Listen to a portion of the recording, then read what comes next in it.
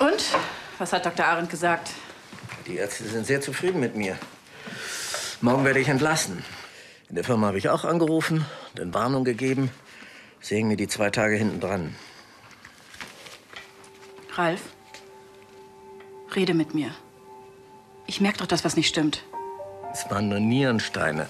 Schatz, mach dir keine Sorgen. Es ist alles gut.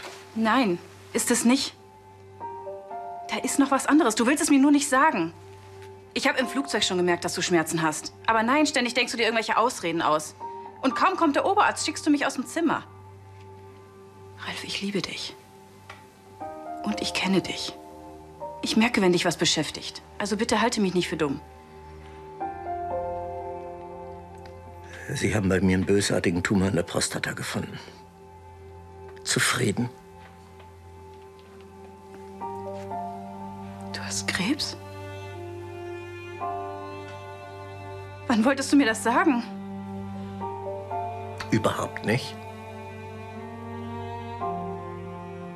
Ich bin deine Frau, Ralf. Tja, das hast du jetzt davon, dass du einen alten Mann geheiratet hast.